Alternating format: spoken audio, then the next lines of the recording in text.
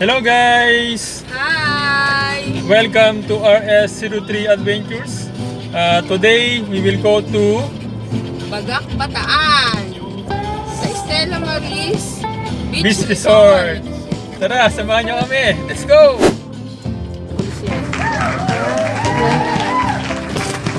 Boss. Stella Maris. Kaliwa. Okay, direct. Thank you.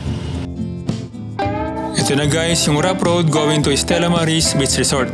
Isa sa dinadayong beach resort sa Bataan. Kayang-kaya makapasok dito ang any type of vehicle. Beach Resort in Bataan. Sulit nga bang dayuhin? Uncensored vlog to guys, kaya isa-isayin natin yan. So stay tuned.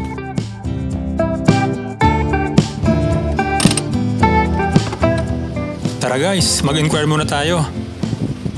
So ayun, dito ko lang nalaman na wala pala silang separate camping area. Kung baga, magtatayo ka ng tent katabi o sa area mismo ng mga cottages.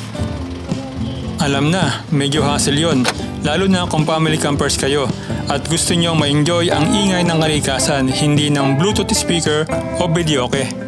Pero kung ang pinunta nyo dito ay party-party, eh ayos lang. Dumating kami dito mga alas 3 ng hapon. Pwede daw kaming mag-pitch ng tent sa bandang gitna, which is yung cottage area nga. Noong time na yon walang panganting spot, kaya naghintay muna kami. So ayun, halos kami ng paglubog ng araw bago makapag-set up. Pero mas magandang spot yung napuntahan namin.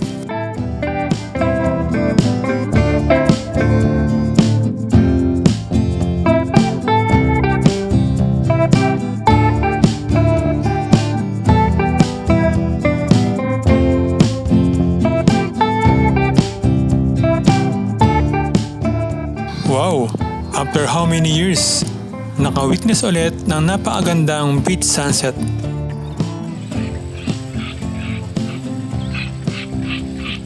Hello, Mommy. What are you cooking? Inihaw ng liempo. Inihaw ng liempo for dinner.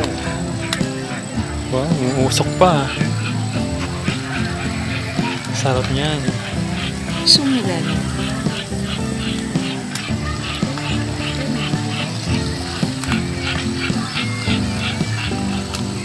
Inihaw na liempo for dinner.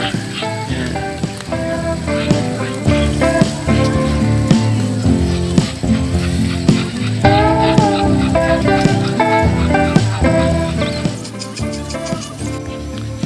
Ayan guys, ready na ang ating dinner. Let's eat na. Anong ulam mo kuya? Ayan po. Liempo. Inihaw. Sarap naman ang inihaw ni mami. Sabay merong ah, inihaw na bangus. Yun. Tara guys, ah, kain tayo.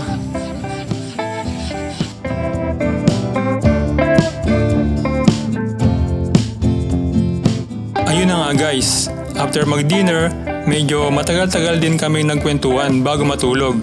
Around 1.45am, nang bigla na namang may nagbidyoke sa tabing cottage. At sa lakas ng sounds ay nagising kami ni Kuya RS. Bumangon at nagparamdam sa mga nagbibidyoke. Pero nung hindi sila makaramdam, hindi na nakatiis si Kuya RS. Nilapitan at sinabihan niya na. Thankful din naman kami dahil nung sinabihan sila ni Kuya RS ay tumigil na rin sila at wala na nag-ingay. Eto guys, nandito na tayo sa most favorite part of every campers. Yung magbe-breakfast ka habang pasikat pa lang ang araw.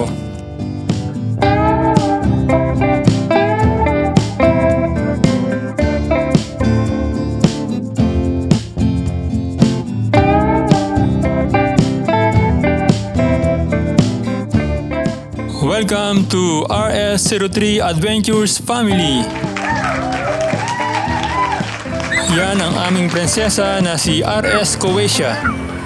Ang aming kuya RS Ephraim. Si Mami Suset. At siyempre, si Daddy Roldan. Kasama rin ang aming 4 baby na si RS Tabashishi.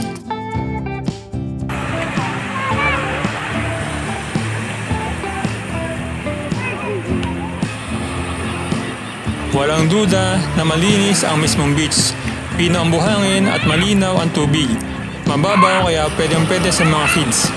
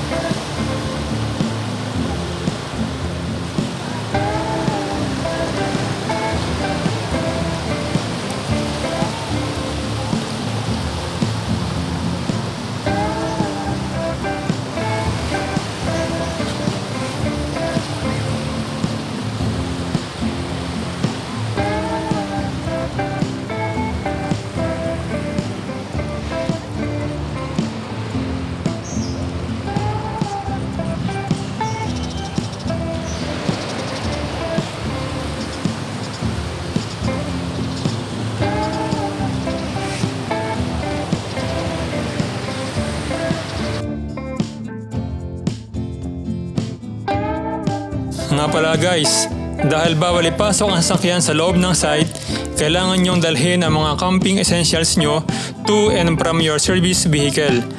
Which is good na rin para kahit paano ma-exercise. Malapit at malamig naman ang area.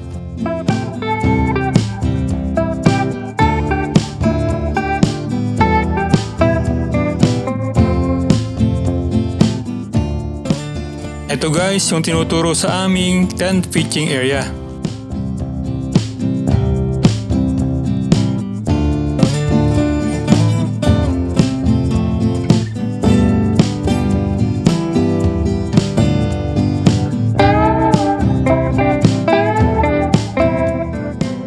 Yan guys, spotted. May aso nangangalakal ng basura. What? What?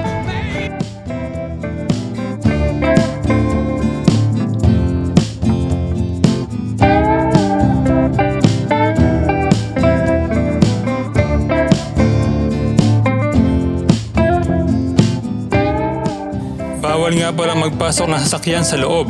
May multa na 3,000 pesos pag nahuli ka.